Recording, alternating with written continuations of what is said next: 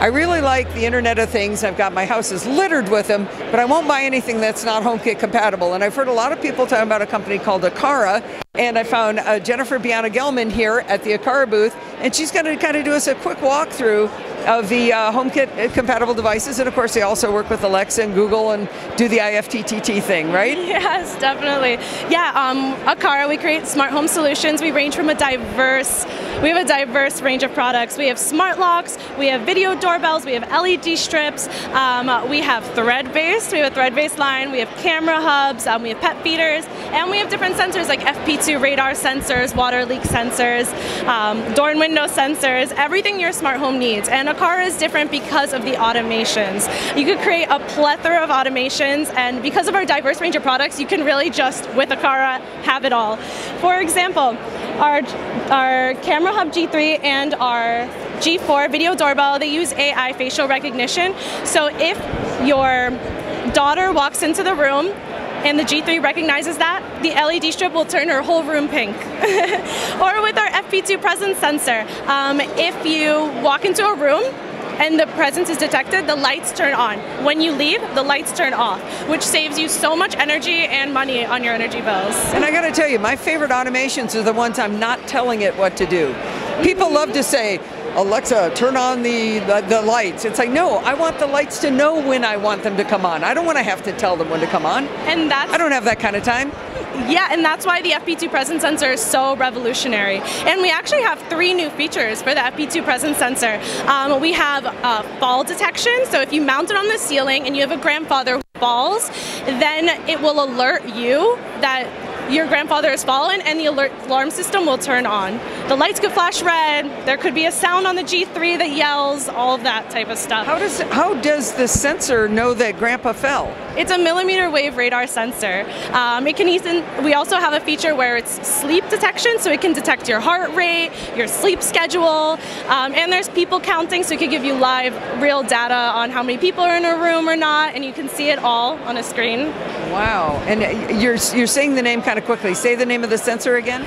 The Aqara FP2 presence sensor. And is that visible here on the counter, or is that something Not just in the background? Here, it's right there. Okay. Uh, it's our, okay. It's our most popular sensor. I didn't know about that. Now the other thing is that I think you your products don't cost a fortune either. Is that right? We're actually like one of the most affordable brands. That's actually how I heard about you first. Yeah. HomeKit and that. Well, this is very cool. You've, you've even got a, a, uh, a pet feeder. Yeah, let me show fun. you. Let okay. me show you. If All right.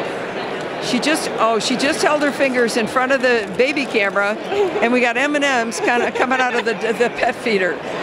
Just a fun, silly automation. So you do the automation through the Aqara software then?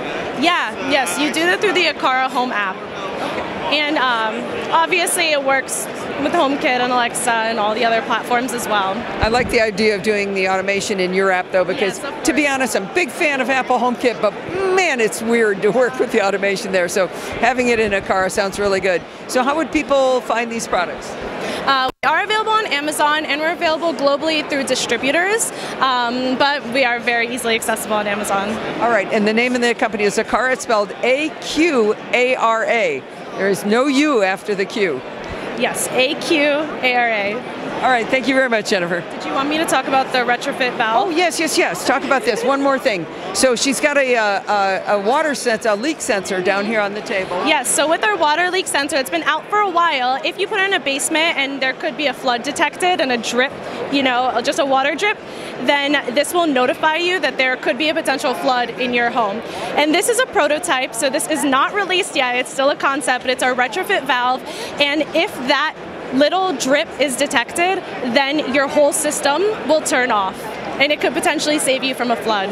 Wow. So this is a smart valve controller that's in line on the pipe and will actually mechanically shut it off. Mm-hmm. Okay. yes. So prototype. Yeah. You were wondering whether there was interest in this product. Why? Yes. Yes. Everybody is interested in this product. Would like to know.